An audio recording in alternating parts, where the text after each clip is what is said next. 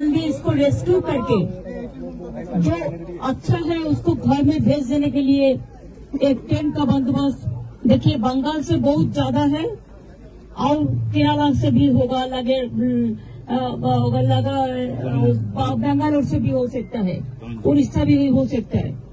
Coromandel express is one of the best express मेरे को जो जानकारी है मैं रेल मिनिस्टर में तीन दफे काम किया।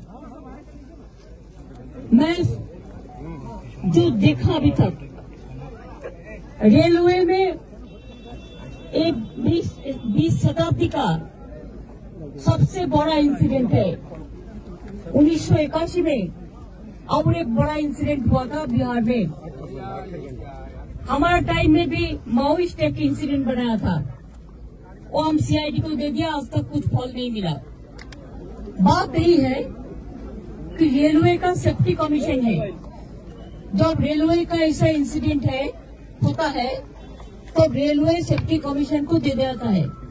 वो लोग इन्वेस्टिगेशन करते हैं, और इन्वेस्टिगेशन करके रिपोर्ट देते हैं। तब था मैंने एंटी कॉल्यूशन डिवाइस तैयार किया था। मैं खुद मडगांव में गया था, गोवा में। तब से रेल का इंसिडेंट कम किया था एक्सीडेंट एकदम वो ऐसा है एंटी कॉल्यूशन डिवाइस कि दो एक लाइन में दो ट्रेन आ जाएगा तो उसमें रुक जाएगा। अगर कोई ट्रेन सामने पड़ा है तो रुक जाएगा।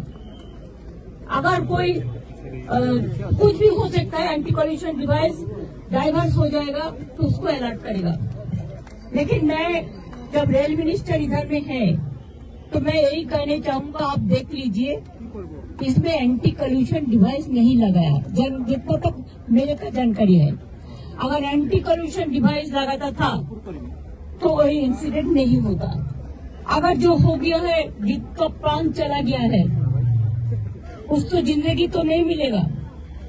लेकिन अभी हमारा काम है rescue operation restoration of the normalcy जो परिवार मर गया, हर परिवार और को नौकरी दिया था।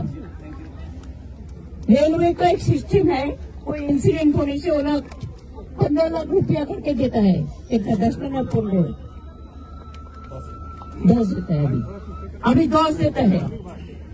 हॉट स्टेट का जो अभी मर गया हॉट स्टेट तो उसको मदद करेगा फिर। हमारा स्टेट से ज़्यादा है। हम भी वो परिवार को हमारा स्टेट का जो है, पाँच लाख करके हम देंगे और और रेलवे रेलवे के साथ गवर्नमेंट के साथ, उड़ीसा गवर्नमेंट के साथ कोऑपरेशन करके रेलवे के साथ, हम पूरा काम करेंगे जब तक काम खत्म नहीं होगा। हमने भी सेवेंटी एंबुलेंस आज भेजा, कल भी चालीस भेजा था। हमारा चालीस डॉक्टर इधर में पहुँच चुका है, काम कर रहा है। हमारा सिस्टर भी काम कर रहा है। और हम दो बार भेजा था, उसमें जो पूरा से इंज्योर्ड है, वो बंगाल में वापस चला गया। और हम रेल को भी कहने चाहूँगी कि अगर दो, कैसे जाएगा? अभी तो इसमें रास्ता क्लियर नहीं होने से नहीं होगा। ऑलरेडी ऑलरेडी बालेश्वर से कोलकाता और इधर सूरत से भुवनेश्वर की तरफ़ लगातार शटल चल रही है। जो भी पेशेंट या जो भी पेशेंट्स के पैसेंजर्स के रिलेटेड দেখুন এসব কোয়েশ্চেনের উত্তর আপনাদের আমি রেস্কিউর পরে বলবো আজকে বলার টাইম নয় এখন মানুষ রেস্কিউ করুক কাজে বাংলার মানুষরা আমি বলবো যেসব পরিবার মারা গেছে যেসব পরিবার রাস্তায় আছেন যেসব পরিবার ইনজিওর হয়ে গেছে তাদের সকলকে আমরা অলরেডি আমাদের নাম্বার দিয়েছি আমাদের চব্বিশ ঘন্টা মনিটরিং চলছে তার এবং এখানে আমাদের পঞ্চাশ জন অফিসারের টিম আছে এবং হেলথের টিম আছে ডাক্তার আছে। তাদের বললেই হবে। তাছাড়া পশ্চিম মিদনাপুরের টিম আছে বালেশ্বর জলেশ্বর মিদনাপুরের বর্ডারে আর তাছাড়াও যারা খুব সিরিয়াস ইঞ্জিওর আমাদের, ওদেরও এক লাখ টাকা করে আমরা দেবো। আর যাদের হয়তো অল্প লেগেছে, তাদের পঞ্চাশ হাজার টাকা করে দেবো। আর যদি সিরিয়াস পেশেন্ট এখানে জায়গা না পায় বা অন্যান্য পেশেন্ট আমি তাদের কলকাতায় নিয়ে গিয়ে ট্রিটমেন্ট করার ব্যবস্থা করব। কারণ আমাদের we have so many facilities ওরা যদি পাঠায় আমি খুশি হব। টাইম যদি করে, তাহলে আমরা যেতে পারব না